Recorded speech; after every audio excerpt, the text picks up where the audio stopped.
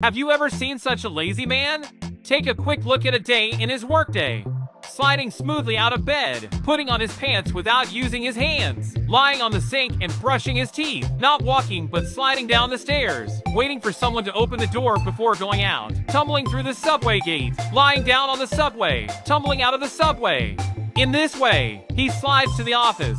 He buys drinks from the machine with his feet, doesn't use his hands to drink orange juice, and goes to the bathroom as if he were upside down. In meetings, he also lies on the table, but even so, he can still point out key points and close high-value deals perfectly. At the bar, he lies on the floor and shakes his head. The crowd gathers around him, admiring his unusual personality, which has gained him many female fans.